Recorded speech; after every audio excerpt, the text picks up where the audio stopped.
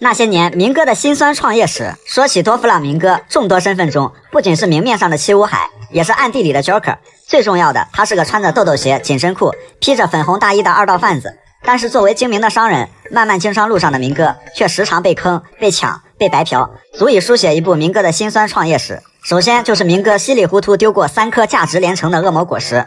第一是明码标价五十亿贝利的手术果实，等于五千万只乔巴。海军当年扔出来的报价比目前可爱多的赏金还要高，而明哥呢，深知手术果实对自己的重要性，大费周章想要拿到这颗果实。不料成功抢到手术果实的克拉松，压根就不是他的人，一把给罗喂嘴里去了。克拉松是海军的人就算了，把罗抓住总行吧？结果明哥被机智的克拉松骗了，说罗已经跑了。克拉松卧底也实锤了，待会儿海军又得撵着自己追了。人财两空的明哥心态高低是崩溃了。除此之外，黄金果实，明哥在这件事情上那是更憋屈。本来黄金果实是堂吉诃德家族在拍卖行中最有牌面的东西，这价值不比手术果实差。但是对金钱有怨念也有执念的德索罗，光脚的不怕你穿豆豆鞋的，带着一帮人就把果实给抢了。同时也惹毛了多弗朗明哥，但是德索罗果实能力开发的也太好了。明哥的处事风格一向是懒得打就合作，喝杯茶坐一坐，说不定还能变成回头客。所以明哥也是原谅小茂心中留，和抢了自己东西的德索罗一直有合作。然后烧烧果实又是一个极品果实，明哥本意是想用烧烧果实将路飞引入陷阱，好展开计划。奈何不光是队友坑，也没想到一个叫萨博的精神小伙来捣乱，叮当五四一顿瞎折腾，路飞没困住，果实还被萨博白嫖了。仨恶魔果实啊，保底是一百五十亿贝利，然后竟然以千奇百怪的方式全被白嫖了，求明哥的心理阴影面积。当然，做生意亏了赚了那是常有的事儿，最怕的是身边有一帮图财害命的主。白富美 Baby Five 在外面一欠就是欠了九千八百万花呗，有一次一口气买了五十家的报纸哦。怪不得明哥这看报纸的习惯这么顽固，手下花钱，老大买单，家里的报纸看不完。明哥走在刀尖上做生意，回头来还得给 Baby Five 还债，最后还跟人家老蔡跑了。再加上一帮坑逼队友，之前凯撒上头之后，一刀误把莫奈的心脏给当成斯摩格的了，刺的那叫一个结实，老铁扎心了。蹲进去之后，听到有船靠上来了，明哥心想这么有胆，看来是好兄弟凯多来了。结果杰克老哥，这是明哥没救出来，还差点把自己给搭进去。纵观明哥的辛酸血泪史，仨恶魔果实打了三个水漂，还溅自己一身水，身边一堆人想谋财害命，外加数不尽的坑逼队友，难，实在是难。那些多少有点恶趣味的果实能力，首先，其实绝大多数果实本身并不是为恶趣味而生的，但尾田和能力的使用者们把能力搞出了各种各样角度刁钻的用法。第一，罗宾的花花果实，因为这个果实能力可以在人。动物或者其他很多东西上长手长脚，而且花花果实长出来的手脚是有货真价实的触感的。恰好这个能力在罗宾这里，那就感觉这个恶趣味是理所当然的了。罗宾也早早就领悟到了这个能力的精髓用法。第二，透明果实，目前来看，透明果实的最大作用并不是在战斗方面，而是在其他方面。阿布萨罗姆可以说是把透明果实的恶趣味玩得炉火纯青。尾田也表示过，溪流也会用透明果实去他该去的地方。包括从恶魔果实图鉴上了解了透明果实的山治，其想获得的初衷就不是为了战斗。山治最后也如愿以偿，得到了隐形黑战斗服，完成了一直以来的愿望。第三，模仿果实。众所周知，模仿果实不仅可以模仿别人的脸，更神奇的是，它还可以模仿其他一些特征。小冯在刚认识路飞他们的时候，和山治打的时候，在推进城里都大方的展示过这种能力。这么说的话，只要被小冯摸过脸的人，尤其是娜美。其实身体并不仅仅只是属于自己的了。第四，手术果实，罗的移植能力可以把人进行类似灵魂调换的操作，而山治正好被移植到了他心心念念的娜美的身上，也算是成全了山治，直接让山治人生巅峰了一段时间。罗的这波操作还直接促成了像达斯摩、托尼托尼弗兰巴等这样的组合出现，对受害者和像罗宾这样的间接受害者来说，这无疑就是深深的恶趣味。第五，甜心皇后的浆糊果实。甜心皇后在变成浆糊流体的时候，她的衣服却不能一起跟着变成浆糊，所以她变成浆糊状态都要主动或被迫当众脱衣服，才能在裂缝、水管里灵活行动，放飞自我。还需要有助手帮她拿衣服，让她变回来的时候能瞬间穿上。如果在浆糊状态下被人活捉并打回原形，也是非常尴尬的。表面上是跟果实开发和形态有关系。但是不得不说，这明显是恶趣味满满的制作组尽情自我发挥了一回。四颗有模仿能力的恶魔果实，第一最直接的模仿果实，黑炭木蝉和黑炭蝉丸这两个人身上有两个重要标签，一个是前任模仿果实能力者，一个是前任屏障果实能力者。而模仿果实虽然不像有些果实有那种毁天灭地的破坏力，但如果巧妙利用，不仅可以轻松毁掉一个王族，甚至能毁掉一个国家。这种作用在黑炭木蝉和小冯身上都有体现过。黑炭木蝉将黑炭大蛇带上复仇之路后，然后木蝉一个人模仿光月家族祖孙三代，先是模仿光月玉田将黑炭大蛇引荐给光月寿喜烧，害死寿喜烧后，木蝉又模仿光月寿喜烧传达假遗嘱，立黑炭大蛇为将军。后来又模仿桃之助，让玉田在和凯多的对决中分心，玉田最终被凯多击败并杀害，光月一族被拉下王位。黑炭木蝉可以说是最大功臣，全场下来辅助稳拿 MVP。而凯多也怕木蝉和大蛇故技重施，威胁自己的统治，便杀了黑炭木蝉。多年之后，老沙在阿拉巴斯坦能稳住根基，也离不开小冯模仿果实的能力。小冯和路飞成了伙伴后，在推进城的时候，更是成了最具骚操作的 X 因素。模仿娜美骗汉尼拔，模仿汉尼拔骗麦哲伦，模仿麦哲伦骗守卫，让原本不可能逃出升天的草帽小队奇迹般的冲出了推进城。小冯和模仿果实又拿了全场 MVP。第二个警卫门的伏伏果实可以对自己或者别人进行变装，最经典的一次就是在德岛，警卫门利用伏伏果实模仿民歌，但警卫门的这个民歌连豆豆鞋都不换上，确定是认真的吗？不能说是毫不相干，但也是天差地别。结果还真把古拉迪乌斯给骗懵逼了。古拉迪乌斯好歹也是跟了明哥这么多年的老干部了，这都能让人骗，恐怕和路飞一样也是个脸盲。但凡长得像火烈鸟的，就是明哥。第三，布雷的镜镜果实，其中一项能力就是可以把镜子照射过的人投影到动物身上或者自己身上，从而实现以假乱真。布雷就用镜镜果实能力模仿出了一个吃棒棒糖的山治，把路飞等人骗进了森林，然后又模仿出路飞和路飞 PK，因为是镜像，说的话、动作、技能都是完全一样对称的。以至于路飞和自己打，等于对着镜子里的自己打，完全就是五五开。只不过有镜像原理，所以假路飞和真路飞脸上的伤疤和其他细节是相反的。后来布雷又粘贴出了一堆由动物变成的娜美、布林、山治、乔巴、加洛特，把路飞累死，这也根本抓不完。第四，戴鹏的幻兽种全权果实九尾狐形态，这个果实已知的一种能力就是它有那种能变成其他人的变身术。戴鹏在莫利亚面前就模仿过阿布萨罗姆。并且是长相、装扮、特征、细节都可以模仿，可以做到和模仿果实一样的效果。综合来看，所有的模仿能力的作用，有些时候甚至能发挥出意想不到的威力。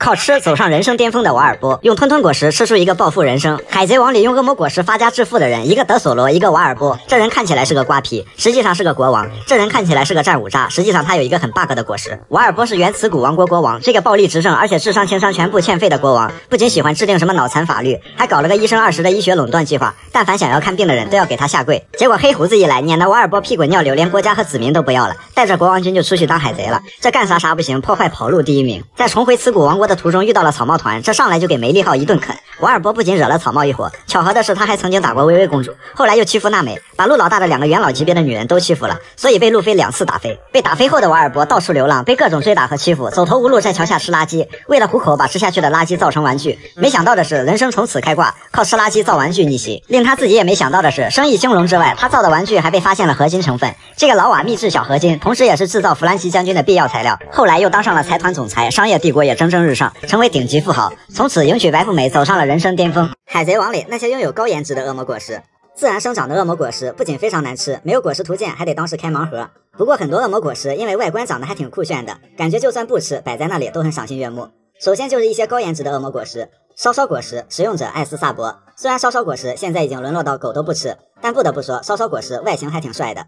果实身上有火焰形状果皮和恶魔果实标志性的螺旋花纹，外观形似凤梨或者火龙果，非常有辨识度。外观与之相似的还有黑胡子的暗暗果实、花花果实，使用者罗宾。花花果实外观呈粉红色，花瓣一样的果皮层层叠叠，中正有序，有一种对称的美感。花花果实漂亮，还因为它跟其他果实的外形不一样。其他的果实大多是瓜果蔬菜，花花果实实如其名，酷似一种天竺牡丹的花。响雷果实，使用者艾尼路，外观是一只黄色的西洋梨，表面布满闪电形状的荆棘，果实顶端的果柄也是如此独特的炫酷。只不过不削皮的话，这一口下去可能会扎嘴。与之相似的还有基德的瓷瓷果实。瓷瓷果实是一串铁灰色的葡萄，果皮上也有雷电般的尖刺，从果柄上延展下来的藤蔓将颗颗果实聚合在一起。手术果实，使用者罗。手术果实不像其他果实花里胡哨，就是一颗大红心，也是最简单美好的形状。手术果实外观像是相思果或者草莓，目前已知海贼王里明码标价最贵的一颗果实，五十亿贝利。所以罗现在的身价还是负的，赏金负二十亿。咯咯果实使用者乌塔，咯咯果实主体为粉红色的哈密瓜，外面有四色套环包裹，视觉上有一种五线谱的感觉。包括果柄的叶子也是一个大大的音符形状，整体来说非常可爱。炸炸果实使用者 Mr Five，炸炸果实外形是一个炸弹苹果，果柄是一根很像引人的引线。果实没有花里胡哨的果皮，螺旋纹路比较扁平，通体为黑紫色，造型简约醒目。烟雾果实使用者斯摩格，烟雾果实的果皮也很有层次感，加上标志性的花纹，就仿佛是云朵或者滚滚浓雾，所以看起来也很像一颗卷心菜。而烟雾果实整体为银白色，金属质感非常独特。莹莹果实使用者莫利亚，莹莹果实是由多片叶子包裹的哈密瓜，果实主体为黑色，表面有金黄色的花纹。由于有很多叶子点缀，莹莹果实的外观元素有很多绿色，看起来是不是有点太健康了？甜甜果实使用者女帝，甜甜果实的外观更为独特，由于是樱桃，所以和其他单一果实不一样，而是红色和紫色一对儿。除了表面有心形的螺旋花纹，果柄连接处也是心形的，成双成对，心心相印，这非常的甜甜果实。与其相似的还有佩罗娜的幽灵果实，是一把香蕉，每根香蕉都像是头顶上有着螺旋花纹的小幽灵，形象上也非常契合佩罗娜的能力，看起来也是很可爱的。饼干果实使用者克利架，克利架不管是名字还是它的果实，都能让人联想到吃的。而饼干果实与其说是果实，更像零食，表皮很像是饼干拼起来的，纹路和其他的果实相对复杂的纹路也不一样，更像是拉面里的名门卷。鱼鱼果实青龙形态，使用者凯多，鱼鱼果实是一颗水蓝色的椰子，表面有着像是鳞片一样的果皮。有两根犄角一样的果柄，很像是一对龙角。合体果实使用者巴雷特，合体果实呈蓝黑色，表面上有不同形状的凸起物，这些凸起物上长了很多山治的眉毛。相比以上这些造型酷炫或者可爱的果实，还有些果实怎么说呢？倒也不是不好看，就有种奇奇怪怪的观感。比如滑滑果实使用者亚尔丽塔，滑滑果实是一颗水蜜桃，表面异常光滑剔透，布满纹路，其实很像是脑花，但更有一种蜜桃臀的即视感，越看越觉得有点羞耻。说是颜值担当，倒更像是果实里的身材担当。莎莎果实使用者老沙。莎莎果实是一株仙人球，这颗果实看起来不光是有发型，两边的凸起还像两只小手，还怪可爱的。不过看来吃这颗果实的时候得削皮吧。人人果实老百姓形态，使用者乔巴，一颗红头小蘑菇，果柄顶端也是蘑菇形状。其实乔巴的果实乍一看还挺可爱的，但是这东西不能细看，越看越觉得这和花花果实是一对儿，反正就是不能多看。诺诺果实使用者卡塔库利，诺诺果实整体为糯米的乳白色，由于具备一定的软糯流体效果，下面好像还会沉积出来一个类似底座的部分。呈上宽下窄的葫芦形状，也像个奖杯。不过恶魔果实的外观和强弱也没啥关系。诺诺果实虽然外观上并不是最帅的，但在卡二手里也是个极品果实了。还有路飞的尼卡果实，其实外观上也很低调，但这颗果实却称得上是海贼王里最有逼格的果实了。那些拿正经果实玩恶趣味的人，海贼王里有为恶趣味而生的果实，比如荷尔蒙果实、透明果实，懂的都懂。还有一些果实明明是正常的，纯属是本人有那么一点点恶趣味。手术果实的罗。罗平时看起来很正直，实际上很会玩。在冰火岛，因为被草帽一伙弄得下不来台，干他们吧没必要，忍了吧又不甘心，于是就用手术果实给草帽一伙来了个身体互换，包括后来斯摩格和达斯奇也换了，让他们闹了不少笑话。手术果实被罗玩出了这么离谱的能力，那只能说明罗如果吃的是荷尔蒙果实，那他能比小一万玩的更嗨。爆炸果实这个果实其实还可以，而且随着两年后炸弹迎来了史诗级的加强，只要量级够，重伤大妈也不是问题。不过拥有爆炸果实的 Mr Five 也被称为鼻屎男。就不好好用，见人就弹会爆炸的鼻屎。期间还谈到了索隆的刀上，给索隆留下了永远的心结。其实路飞如果吃下爆炸果实，应该也挺强的，因为路飞也爱玩鼻屎，而且比他的更多、更大、更准。浮浮果实的警卫门，警卫门在德岛用浮浮果实模仿明哥，虽然很敷衍嘛，但古拉迪乌斯他也是个脸盲，还算有点用。本以为警卫门以后用浮浮果实能用在什么奇谋上，结果后面心思全用在了如何给女士变清凉的衣服上去了，而且越来越凉快。离谱到审核员都不得不对娜美罗宾的变装福利进行删减。病病果实的毒 Q 能力就是可以让人染上疾病，差不多就跟他这个病殃殃的状态一样，看起来没什么很奇特的。但是毒 Q 还能用出一个很迷惑的能力，会改变人的基因，让人变性，且会传染。互相接触的话，那大家一起愉快的变性，这个倒是可以用霸气解除这个病，没啥实际用处，就是纯纯的恶趣味。不过后面请务必把这种恶趣味用在草帽团身上。龙龙果实古代种万龙形态的奎因，和弗兰奇一样，奎因看起来也是个变态。因为他也有一些整活发明，不同的是，奎因结合了自己的果实能力，像是能把自己的躯体发射出去，四肢留在原地，果然是分头行动啊！怎么着？这是欺负人类没见过恐龙是吧？那留在原地的身体还可以当炮台，并且是声控的，非常智能。只不过声控有 bug，搞得奎因每次无意间提到万龙发射器，就会被自己的身体给疯狂开炮，而且还没开二度。类似这种果实名字听起来很正常，但总会有一些迷惑的功能存在。怎么说呢？恶魔果实也无奈的表示，别误会啊，在整活的可不是我。三系恶魔果实一路争老大的变化历程，到目前为止，可以在海贼王里看到一个比较有趣的现象，那就是三系果实的地位给人的感觉并非是一直不变的，而是各有自己的高光阶段。早期自然系自然就是老大的地位。如果在这个阶段给三系果实排个名的话，第一名是自然系，第二名是自然系，第三名还是自然系。感觉这并不夸张，没有任何一个果实可以匹敌自然系给人带来的精神压力。路飞在东海大杀四方后，挂着东海头号恶人的名号进入了罗格镇，结果面对第一个登场的自然系斯摩格，不要说还手的资格，压根是摸都摸不到。然后接着阿拉巴斯坦和空岛两大篇章接连出现两大自然系大 boss 老沙和艾尼路，虽然他们被水路飞和橡胶路飞搞了心态，不过丝毫不影响自然系的形象，反而更加认可了自然系就是早期最强的果实的地位。紧接着就是海军大将青雉登场。不得不说，这个时候路飞倒是可以表面上摸到青雉了，但咱就说这摸到了还不如摸不到。随着海军大将们陆续登场展示操作，自然系的恐怖印象也跟着到了巅峰。尤其是黄猿那种吊儿郎当却能横扫香波地群岛的气质，黄猿的一口一个好可怕，一脚一个超新星，大概也就当时自然系的终极了。顶上战争虽然属于群魔乱舞，不过海军除了赤犬，剩下的基本都是演员。这晋级赛差不多就等于赤犬一人打的。如果这么看的话，那自然系依然很强悍。但随之画风就突变了。首先就是有个老六蛰伏了好久，终于到了他展示真正的技术的时候了，那就是霸气。虽然也说了对其他系的果实能怎么怎么样，但就差没明说，这就是为了针对自然系而生的了，直接就把自然系给削了一截。可能尾田老师也觉得自然系太强了，这玩意儿无异于挂逼的存在。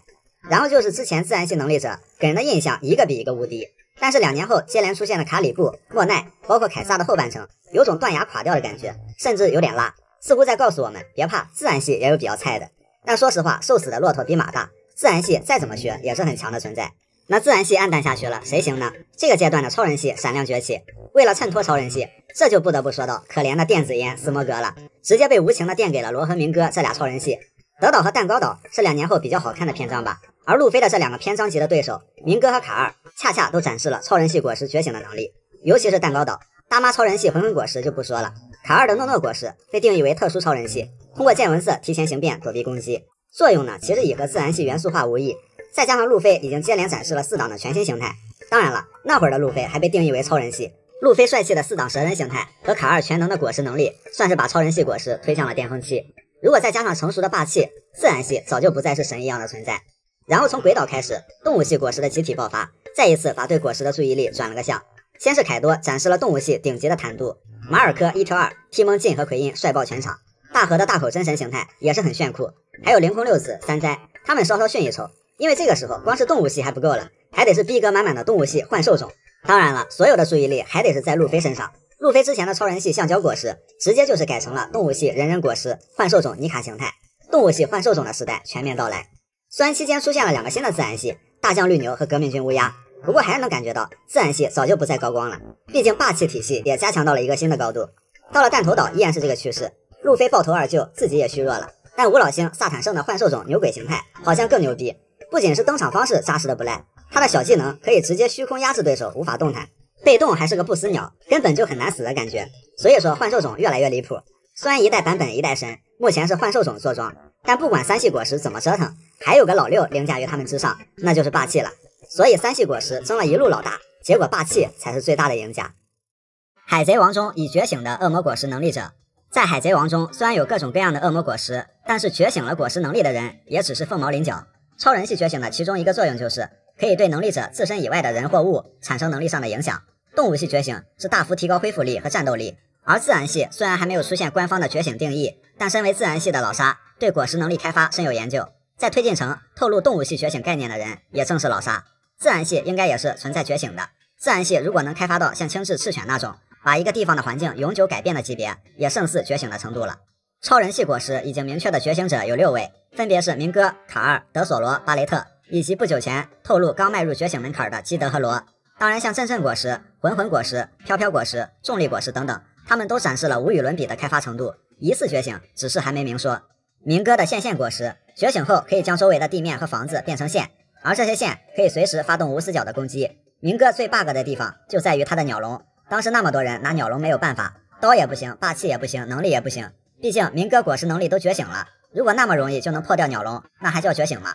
但是有些能力者可以轻松走出鸟笼，比如自然系能力者。此外，尾田也表示过，巴基大神也可以完全无视鸟笼。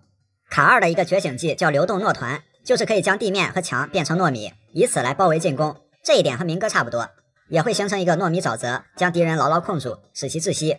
卡二觉得路飞当时肯定没了。所以就享受下午茶去了。其实路飞的身体没有被压住，再加上卡二可能没搞明白克利架是怎么输的，卡二大意了。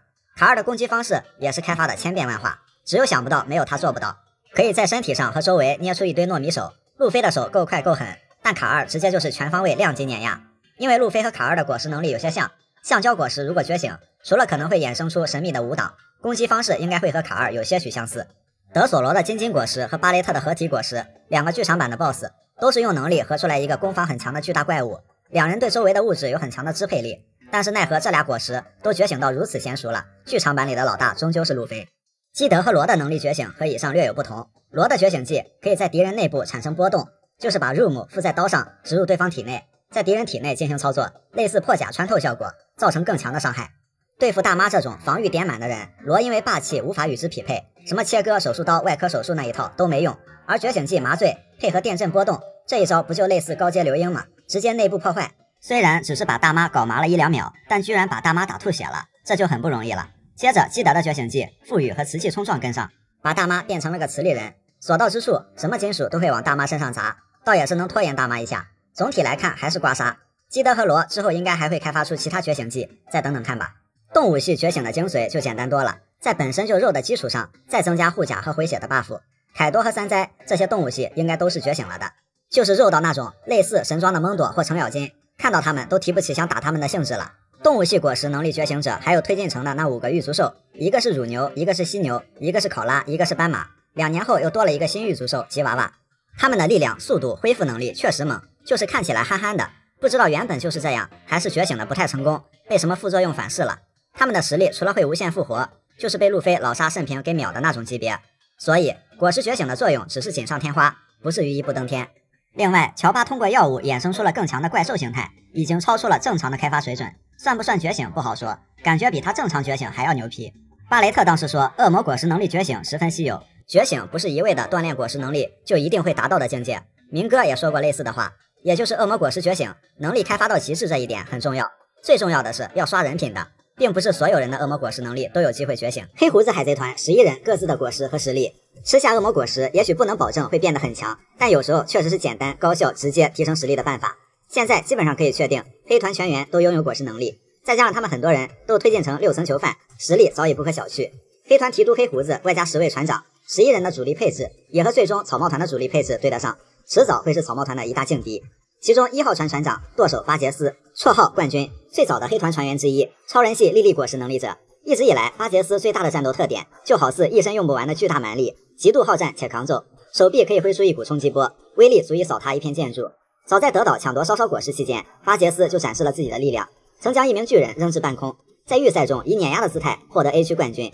在决赛中，靠着手臂上的装置，以一招波动肘击把一只斗鱼轰飞老远，并把观众席砸出一个大坑，打出了一种天地震颤的感觉。虽然巴杰斯一向是不服就干的风格，但也很阴险，能干出趁路飞虚弱搞偷袭，用萨博没能救艾斯这种话搞萨博的心态这种操作。最终，巴杰斯被愤怒的萨博碾压击败。但后来身受重伤的巴杰斯偷渡革命军返航的船来到了革命军总部，是黑团捣毁革命军总部，获得其军火的功臣。获得莉莉果实之后，巴杰斯的怪力更加恐怖，可以搬起一座山。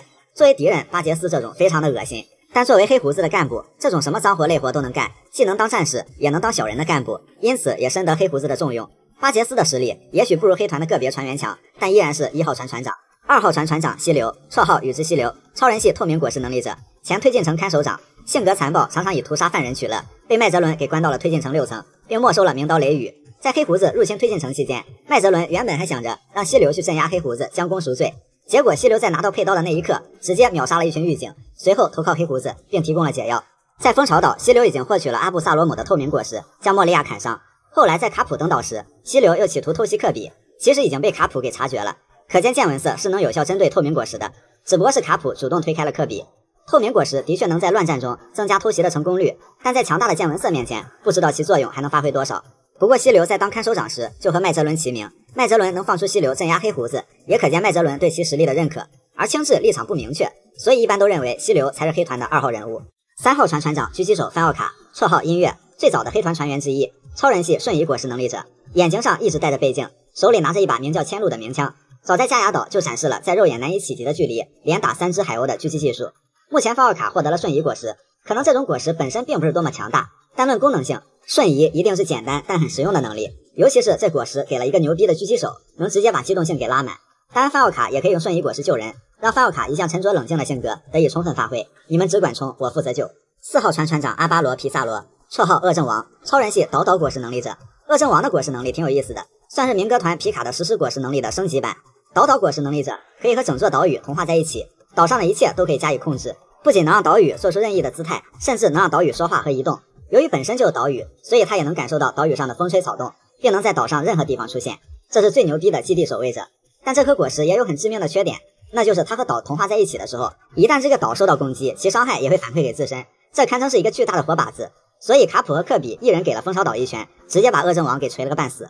五号船船长航海士拉菲特，绰号魔鬼警长，最早的黑团船员之一。拉菲特曾经做过两件非常蹊跷的事情，一次是老沙被打败后的七武海会议上，拉菲特悄无声息地潜入了玛丽乔亚，没有引起任何人的警觉。拉菲特的目的是推荐黑胡子当七武海。第二次是黑团离开推进城的时候，拉菲特用一种催眠手段催眠了狱警，下达的催眠命令是只要是军舰就一律开门。路飞小队第一次是靠小冯开门，而此时他们正好抵达了海军本部一方的正义之门，也赶巧了，所以巴基封神的背后实际上是拉菲特的默默付出。虽然目前还没有给出拉菲特到底是什么能力，但在入侵推进城的时候，拉菲特曾经变出一双白色翅膀，可以飞行。显然这和空岛人那种近乎于装饰的小翅膀不同，拉菲特应该也是果实能力者，可能是动物系。六号船船长卡特琳娜·戴鹏，绰号玄月猎人，动物系全权果实幻兽种九尾狐形态，被称为史上最凶恶的女囚犯。她的猎人绰号不仅是因为杀人如麻，她还有一个很变态的癖好，那就是喜欢收集美女的脑袋，所以专门猎杀一些漂亮的女海贼。她腰间佩戴一把西洋剑，看起来也是一名剑士。然而最强大的还是他的九尾狐果实，可以完全模仿其他人的全部特征，包括身高和衣服。曾经变成阿布萨罗姆，连莫利亚也看不出端倪一点。果实能力很像小冯的模仿果实。但九尾狐这个并不需要触摸别人就可以模仿，有些时候会很难处理它。七号船船长圣胡安饿狼，绰号巨大战舰，超人系膨胀果实能力者，也有翻译成巨巨果实或者大大果实。他本身就是巨人族，但他不仅比普通的巨人族还要大。身为古代巨人族的小奥兹也只有三十八米，运国奥兹也只不过六十七米，而圣胡安饿狼有一百八十米。尽管身体如此巨大，但两年前他似乎并不是果实能力者，因为他曾经大半个身子都泡在过海里。出现在蜂巢岛的时候，他正躺在岛上睡觉。就仿佛躺在一堆积木玩具里一样。圣胡安饿狼虽然长相很憨厚，有时候呆呆的，还有点搞笑，但一点都不影响他因为罪行过于残暴，甚至必须从历史中被抹去的暴虐性格。八号船船长巴斯克乔特，绰号大九，超人系九九果实能力者。这个果实除了能满足他喝酒的爱好，似乎还没有展示更多的作用。只知道其中一个能力是可以造出很多酒精泡泡，供人在上面飞行。还有一招名叫九号炉火的技能，通过喝酒来喷射火焰，非常像杂技里的喷火表演。九号船船长船一毒 Q，最早黑团的船员之一。超人系病变果实能力者，看外表可能很难想象，二十八岁的毒 Q 是黑团最年轻的船员，但却一副最病入膏肓的模样。毒 Q 的果实能力倒是跟他的定位很契合，而且还有比较恶趣味的玩法。之前就用能力性转了罗，该说不说，女版的罗还真的挺性感的。包括他的那只名叫壮壮的马，也是跟他同病相怜的样子。连他的马都吃了幻兽种天马形态果实。黑团对果实能力的狂热，已经到了一家人都要整整齐齐的地步。十号船船长库散，这个就很熟悉了，原海军大将青雉。自然系冰冻果实能力者，实力的话自然也是毋庸置疑。在卡普登陆蜂巢岛时，青雉显然看不上黑团这些干部的实力。青雉现在到底怎么想的，还是很让人迷惑，看起来比较迷茫。但面对卡普的时候，又显得没留什么情面。不过感觉青雉应该不至于和黑胡子能有太多共情的地方。然后是黑胡子，各方面也不用多说，目前手握暗暗果实和阵阵果实，蛰伏三十年，然后两年时间从零赏金到二十二亿四千六百七十万，再到现在的三十九亿九千六百万。这都堪称是另一个主角了。新仇旧账，路飞和黑胡子终有一战。只不过比较离谱的是，黑胡子居然盯上了女帝的甜甜果实。主要是黑团全员都有果实能力了，黑胡子抢女帝的果实给谁用呢？黑胡子自己用甜甜果实美搂美搂别人，一顿输出，那画面简直了。不用他美喽美喽，但凡看到这个场面的人，想必自己就想石化了。由于黑胡子团总是做出刀口上舔血的事儿，两年前登场没少被人家秒，就有一种这帮人粗糙且不强的感觉。但看下来，黑团实力真的挺强的。而且黑胡子掠夺果实也不是乱抢，他们的果实能力有的并不是多么极品，但都是非常匹配自身的特点，能让他们在战斗中优势最大化。所以这么一个懂得蛰伏、猥琐发育并一招制胜的海贼团，必然是去往拉夫德鲁路上的最难搞的一个拦路虎。那些对恶魔果实能力没兴趣的强者，在海贼王中，有些人执意要靠恶魔果实的力量来变强，但还有些人明明有机会吃到好的果实，却直到成为大海强者都是只凭一身霸气。这个传统最明显的就是从罗杰团到红发团的一脉相承。当年二十七岁的红发冒着风险从世界政府手里劫持了橡胶果实，红发应该是知道橡胶果实的一些秘密的。不过众所周知，红发团的人都没有下口，这颗果实最后被路飞当成普通水果给吃了。从红发的警告上来看，看来他对吃恶魔果实这件事儿是很谨慎的，因为一旦吃了就是一辈子的旱鸭子。可是多年谨慎无人问，一句面子天下知，红发面子果实已然觉醒。不过正儿八经来说，果实对红发来说无所屌味。红发是唯一一个没有吃果实的四皇，然后就是巴基。巴基其实本来也不想吃恶魔果实的，据红发说，巴基是个游泳健将。而且巴基自己也想靠手里的恶魔果实和藏宝图来暴富，结果大家也都知道了，出了一点小小的意外，巴基成了果实能力者。因为这件事儿，巴基直到如今也记恨红发。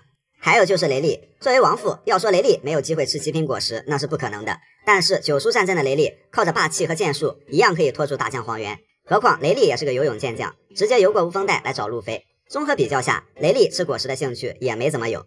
除了罗杰团和红发团普遍无果实的风格，草帽团吃了果实的人就不说了。其他没吃果实的也有明确表示过不想吃的，比如弗兰奇就曾拒绝吃烧烧果实，不想一辈子不会游泳是一方面，主要是弗兰奇更想靠科技变强。山治比较特殊，他小时候看过果实图鉴嘛，明确表示对其他的恶魔果实一概没兴趣，但唯独对透明果实非常渴望，想干啥大家都知道。不过呢，后来山治梦想成真，有了战斗服，也进了女澡堂，看光了娜美罗宾，了结了他的心愿，怎么说也是无憾了。看得出来，索隆对恶魔果实也没啥兴趣。从小到大，索隆都是通过刻苦修炼、强化体魄来变强的，是一种努力的方向，也非常纯粹。空岛的时候，乌索普想用空背给索隆的刀改造一下，增加一些功能，索隆都不愿意。相比于恶魔果实能力，索隆当然对刀更感兴趣。慎平就不用说了，也不可能吃果实。草帽团主力的话，除了路飞、索隆、山治、慎平，应该都不会吃了，毕竟他仨还得负责捞路飞呢。卡普和泽法也是崇尚靠体术霸气制霸的海军大佬，泽法甚至还吐槽黄猿太依赖果实能力了。海军弄到极品果实应该是不难的。赤犬年轻的时候看起来像是个剑士，后来嗯就没见过他玩过什么刀刀剑剑。而卡普曾经遇到强敌的时候，是私下里把几座大山夷为平地，淬炼霸气铁拳，再去打赢对手。他的徒弟克比也是继承了这个理念，修炼体术霸气。悬赏三十五点九亿贝利的鹰眼，一把已成黑刀的无上大快刀叶在手，就知道他吃不吃恶魔果实也都行。鹰眼这种纯粹的剑豪，更不像是对恶魔果实能力感兴趣的人。像卡普、红发、雷利、鹰眼这种已经把霸气或者剑术练到顶尖的人，正常情况下应该都不会再吃恶魔果实了。吃下好的恶魔果实，确实会让人直接拥有强大的能力。不过百兽凯老师教育过路飞，单凭恶魔果实是不可能成为最强的。罗杰称霸大海靠的是什么？是霸气。感觉黑胡子没来鬼岛听听凯老师的课，真的亏大了。黑胡子如果只在掠夺果实的路上越走越远，最后应该会很惨的。崇尚果实还是霸气，本身没有强弱好坏之分。霸气虽然是必要的，不过果实能力和霸气可以互为上限。如果你身边有个专业捞尸队的话，两种都是顶级，岂不是更好？海贼王里几个特殊的恶魔果实，首先最让人意外的，根据情报实锤，凯多居然是鱼鱼果实幻兽种，很有可能是鲤鱼王终极进化形态暴鲤龙形态。而鱼鱼果实是在洛克斯海贼团解散那天大妈送给凯多的，小弟们一堆五花八门的龙，老大本质上居然是条鱼，真是让人目瞪口呆。而且凯多变身后的形态明显是龙形态，很有迷惑性。所以之前关于凯多龙龙果实什么的猜测，原来从起点就是偏离的。怕不是尾田老贼原本的设定被猜到了，连夜改稿。但是仔细想想，并非如此。毕竟凯多一早就被标上了海陆空最强生物的标签，原来早就为此做了铺垫。曾经鱼鱼果实属实是被当成一个梗来说的，能力是变成一条鱼，或者在海里操控鱼类，但是不能下水，这还不如不吃呢。结果鱼鱼果实这玩意儿还真有，只不过凯多这鱼鱼果实的出现，这个梗就不能这么玩了。卡二的诺诺果实，这个果实特殊在本质上是超人系，不过它却拥有自然系一大特点，能够元素化，也就是普通的物理攻击对它无效，就算用霸气，卡二的见闻色也是顶级，可以提前元素化，所以被归为特殊超人系。而这颗很全面的果实，到了会三色霸气的卡二身上，简直就是锦上添花，花天锦上。以至于路飞觉醒了四档蛇人形态，和卡二对锤，卡二依旧不落下风。黑胡子的暗暗果实，这颗果实正好和卡二的诺诺果实相反。暗暗果实本身是自然系，但却不能像其他自然系一样元素化，而且受到的伤害还是翻倍的。因此，黑胡子但凡被击中，都会疼得在地上嗷嗷叫。暗暗果实虽然缺点有点多，但能力也有点 bug。暗水可以吞噬能力者的果实能力攻击，暗穴道能让附近大范围的物体下沉，吞噬和黑暗接触的东西，还能再次把吞进去的东西吐出来。黑胡子也可以隔空吸取能力者，比如用暗水吸艾斯，在接触到能力者时，对方的果实能力就会失效，所以能在暗水释放之后一拳打在了艾斯的身体上。而且黑胡子能夺取别人的果实能力，不仅跟他的身体构造有关系，或许也和暗暗果实有些关系。麦哲伦的毒毒果实归类是超人系果实，麦哲伦会把毒覆盖全身，表面上看是和自然系元素化一样的状态。不过它仅仅是覆盖身体表面，算是一种威慑和防护，身体并不能元素化。因为浑身是毒，路飞一开始只能躲，所以在路飞获得了三哥的防护套装之后，便可以一拳透过毒层打中麦哲伦，疼的麦哲伦得蹲地上缓缓。战国和乔巴的人人果实虽同为人人果实，但动物系会下分各种各样的形态。战国是幻兽种大佛形态，乔巴是普通种人形态。就好比他俩是一个年级的，但不是一个班的；是一个公司的，但不是一个部门的。这俩人人果实，一个海军老元帅，一个悬赏金一百。哦不，乔巴现在那是挂着一百的赏金，打着一百多亿的架，这牌面绝对是一点都没输。鸡肋但真香的透明果实能力，这个能力有个众所周知的用途。透明果实的前任能力者阿布萨罗姆就用这个能力找到了自己的奥布路，占了草帽团两大船花的便宜，恶劣程度堪比桃之助。所以小时候看过《恶魔果实图鉴》的山治，他对恶魔果实本身倒没什么兴趣，但对透明果实却极度渴望。当然，山治的目的也并不是为了和人干架，而是可以自由出入澡堂奥布路。除了这个用途，随着会霸气的人越来越多，新世界又高手云集，透明果实在高端局就越来越显得鸡肋。因为透明果实虽然可以将本体和与本体接触的人或物隐身，比如溪流的雪茄和刀都可以做到隐形，但是脚步、声音和味道并不会消失。只要碰到一个见闻色还可以的对手，那他的隐身效果就会非常有限。虽然溪流评价了一句“这能力真不错”，意味深长的话，不光是因为偷袭了莫利亚，而是他拿这个能力干啥去了，大家都懂。到了大后期，黑胡子一伙和草帽一伙，或者世界政府，不可避免的有一战。那都是什么级别的对手？在大将藤虎面前，所有人都能隐身。既然都这么棘手了，也不差溪流这一个。草帽团里，山治隐形黑也可以隐身，而且还能加速上天，甚至在天上做一个托马斯全旋。索隆闭着眼睛都能砍人。另外，布鲁克的灵魂出窍虽然不是透明，但是足够隐蔽，能穿墙无实体。两年期间也是去了不少奥布路，刺探情报这一块不比透明差。乌索普的见闻色可以超远距离感受气息。这么一看，隐身能力并不是独一无二的，而且很局限。但是老谋深算的黑胡子把隐身能力安排给了实力处在团内第一梯队的溪流，难道真的只是想跟溪流一起体验奥布路？似乎没这么简单。两年前，阿布用隐身能力从明哥手上救走莫利亚，这个能力是能给队友加一个隐身 buff 的。通过不断开发这个 buff，或许能产生大范围性或群体隐身。有一个鬼谷子的黑团全员隐身突袭圣地玛丽乔亚，那多刺激！这也符合黑胡子喜欢偷家、突然现身的一贯作风。那这就变成了独一无二的能力了。而且隐身能力低端局虐菜，高端局鸡肋，只是阿布这种实力和麦哲伦齐名的溪流实力本来就强。如果见闻色也是顶尖，两个各方面实力不相上下的对手相遇，那必定是能隐身的一方会占一些优势。哎，藤虎大叔，你怎么站起来了？快坐下，快坐下。这些优势唯独在您这里不能称之为优势。话说回来，透明能力在这个节点被黑胡子捕获，很有可能有大用。毕竟果实能力是鸡肋还是真香，主要是看使用者。但不得不说，透明果实除了战斗之外，确实是真香。被拉肚子耽误的名誉大将麦哲伦，被誉为监狱最强男人的麦哲伦，除了会被美色、雷酒和拉肚子拿捏，在推进城里论单挑，他还真不虚谁。在狭窄封闭的深海大监狱，麦哲伦的果实能力能发挥巨大优势。麦哲伦主要就是靠他这个开发程度很高的毒毒果实能力，这是颗超人系果实。麦哲伦把毒裹在身体外面，搞得很像是自然系一样。当然，也正是因为有一层毒衣，没有霸气的人，别说跟他纠缠，只要被他的毒碰到，身体就会被一点点痛苦的蚕食。这也是令犯人们闻风丧胆的原因。就算有了不用接触的流鹰，强度不够，也未必能轻松打麦哲伦。小伊万曾经用死亡媚眼攻击麦哲伦，死亡媚眼很像是霸气外放，但麦哲伦的毒液也可以用作防御壁，将其一一挡下。麦哲伦有很多范围性伤害，也是能压制囚犯的关键。麦哲伦的小奥义技能毒龙。这也是麦哲伦经常使用的一招，由剧毒形成的一只三头飞龙腾空而起。即使路飞救艾斯的心多坚决，面对毒龙也得先退避三舍。而黑胡子一伙就直接多了，正好迎面撞见正在气头上的麦哲伦，被麦哲伦一招毒龙给秒了。要不是溪流，就彻底团灭了。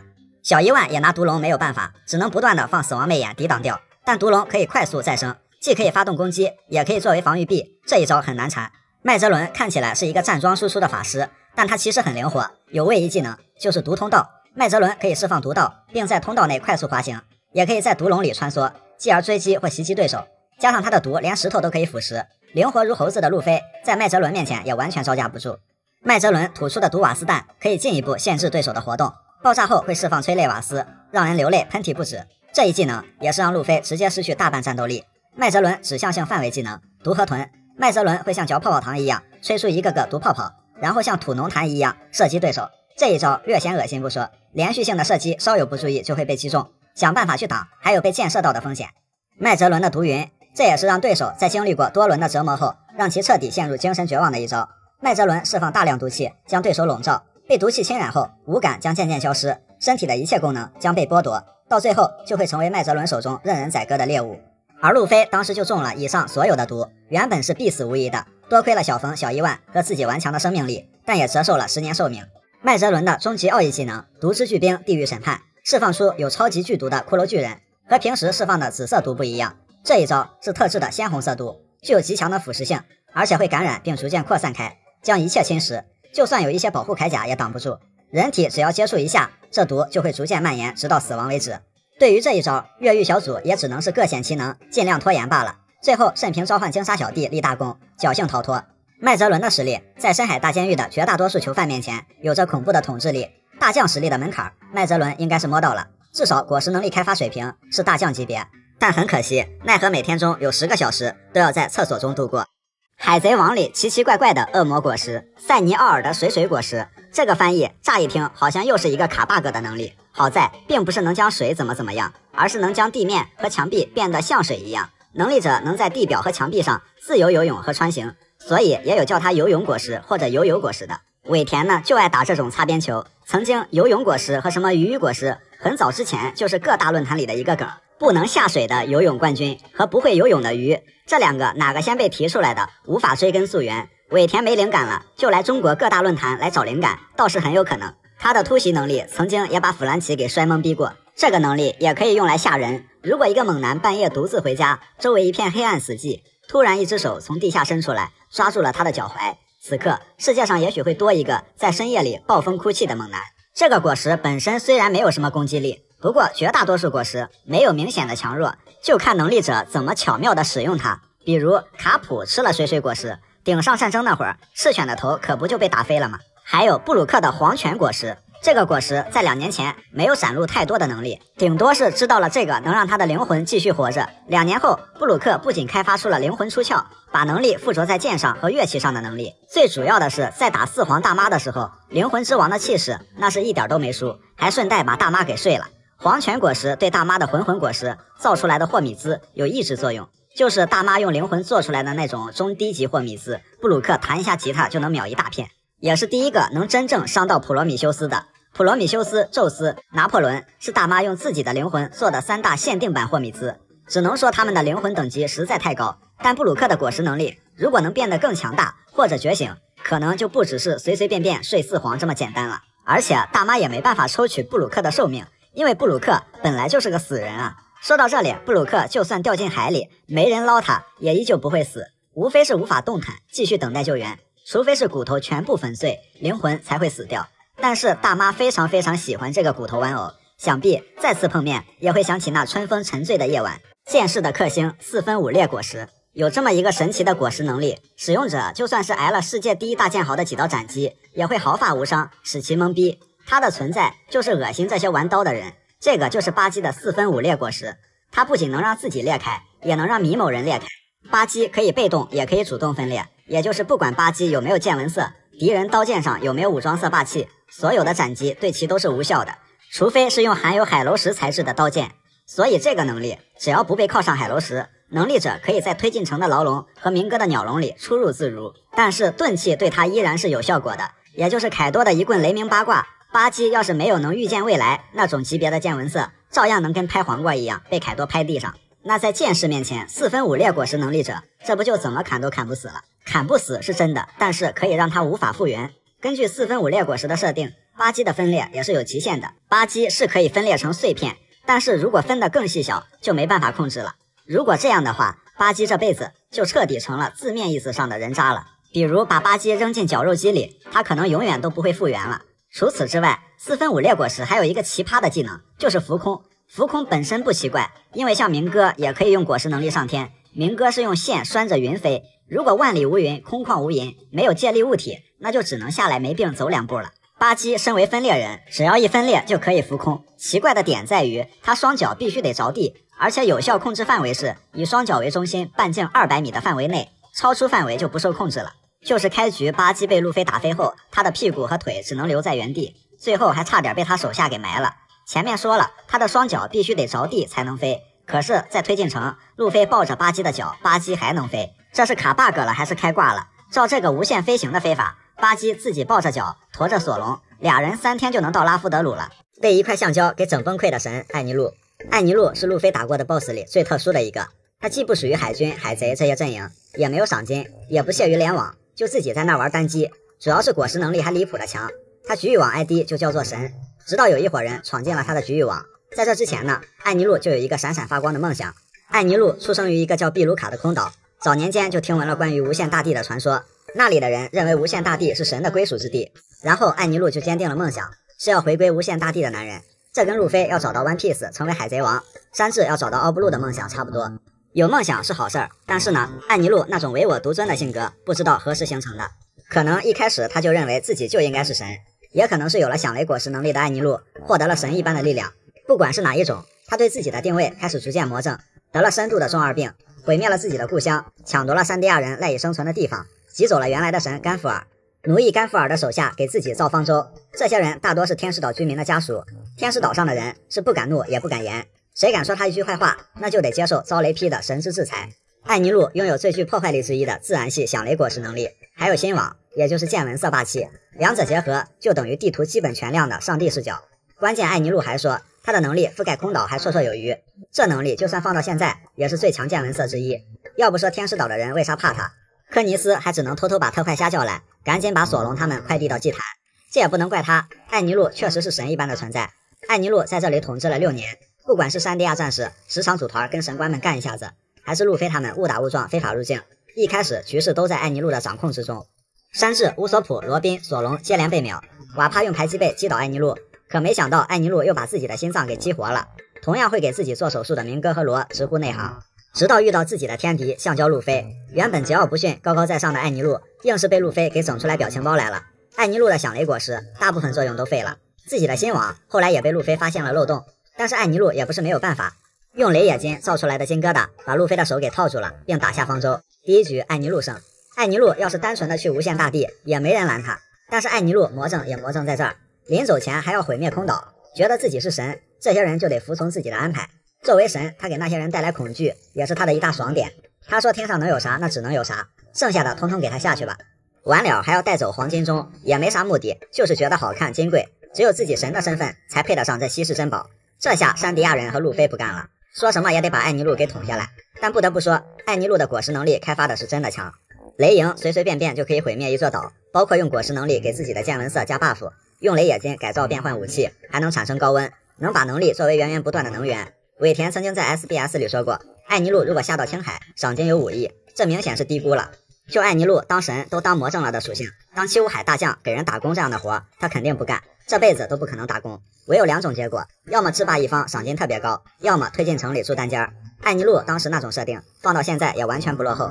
只不过路飞恰好是块橡胶，当时手里恰好有个导电的金球，打散了雷影，秒掉了艾尼路，确实有些剧情杀。橡胶可以让艾尼路无法元素化，那个金球的前端，路飞的拳头正好是露出来的，艾尼路可太倒霉悲催了。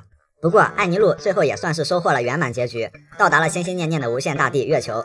总之，在路飞打败的对手里，艾尼路的结局算最好的了，就是换个地方当神嘛，梦想还实现了，还有了自己的艾尼路军团。只是愿月球没有橡胶。